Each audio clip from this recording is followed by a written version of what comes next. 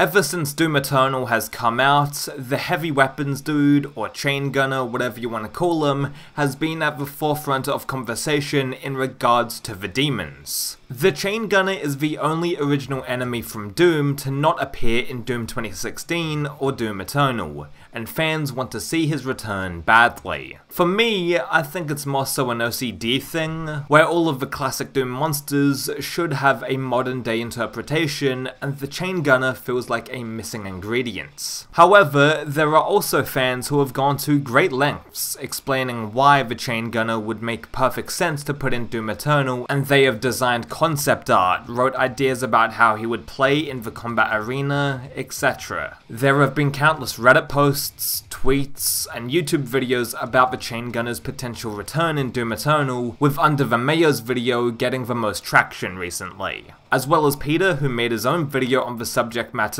they both explained how he could be approached in Doom Eternal, and I'm all for their ideas. The general consensus is that if they put the chain gunner in Doom Eternal, he should be a projectile-based demon, and I think this is the most likely scenario. That being said, if the chain gunner returned as a hit scan demon, he could wind up being very overpowered, similar to his classic Doom counterpart. I personally love the chain gunner from classic Doom, because he was that wild card who could end your run at any moment with his hit scan abilities. This was especially the case in Plutonia, where the Casali brothers knew exactly where to place them to give players the most trouble. The Chain Gunner is a pain in the ass, and they have to stay that way if they ever get brought into Doom Eternal. He should be the fodder demon that I am still cautious to fight, because most of the other fodder enemies in Doom Eternal are pushovers once you get a couple of levels in. The Chain Gunner needs to be thrown in with a clear purpose, and whether he's introduced in the Ancient Gods Part 2 or a brand new Doom game, there needs to be enough utility for him to exist. The demon ecosystem in Doom Eternal is pitch perfect, and each enemy builds upon the combat loop, and I want the Chain Gunner, if he's ever included, to do the same.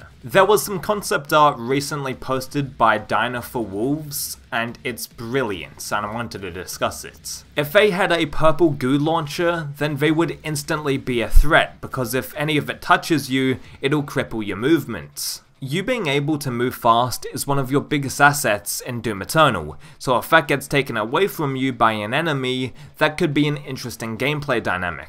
I also agree with this version of the Chain Gunner being very resistant to ballista shots and precision bolts, because they are two very powerful tools that players kinda like to spam. I've seen many Doom Eternal players use this combo, and if we can get them to switch up their approach using this new demon, that would be great. The Ancient Gods DLC is all about breaking up players' habits, so if a Chain Gunner was included in part 2, then I can definitely see him being resistant to the heavy cannon and ballista. If id Software can program a way for lock-on rockets to not be effective on the chain gunner like the concept art reads as well, then I would love that too. Maybe these chain gunners can detect when lock-on rockets are aimed at them and they can shoot the rockets out of the sky before they hit them or something. That being said, I am floored by this fan concept art for the chain gunner and if id Software design him anything like this and throw him in the game, then I would have nothing to complain about. The purple goo launcher is the aspect of this chain gunner design that I am most interested in. It would add some much needed context to the purple sludge that's already in Doom Eternal, and the purple goo in the base campaign would also brace players for the chain gunner.